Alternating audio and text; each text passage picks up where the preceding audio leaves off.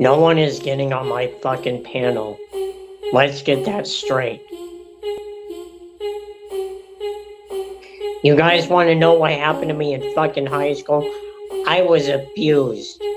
Not physically, emotionally abused. This is why I fuck anybody that was underage. And I'm putting this straight and I'm straightening this out. I don't like women. I would go after anybody that was underage. There is child pornography on my fucking hard drive. Get that straight. There is child pornography on my fucking hard drive. For your information, I'm going to jail. If you think for one second I'm gonna go out there and fuck women, no, I would not. I'm not gonna go after somebody who's about in her mid 20s. Fuck no.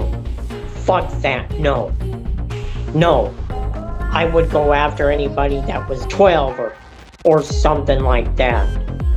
And I'm straightening this out. I am the pedophile. Slowly, I'm gaining their trust.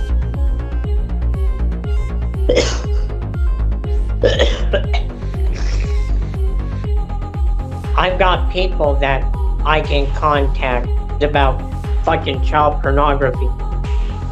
And then I got people that want me to stop. It pisses me off, but I'm telling you right now, do you think for one goddamn fucking second I would go after anybody that was in their mid 20s? No. Because they use you for their own fucking person, for their own personal gain. That's why I fucked some underage girl. Okay? I'm trying to go to church. I'm trying to fuck anybody that was 12 or, or something like that. Why do you think I'm going to church? Fucking child pornography, using my fucking religion as a fucking crutch. I am reading the Bible. That's why I've got PTSD.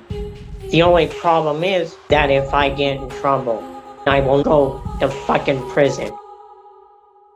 You know, it's ridiculous. There's people out there that still think I'm a lion sack of shit. And I'm telling them, including DJ Zombie, you know, I'm telling you right now, DJ Zombie, I am the pedophile. Get that through you guys' thick head.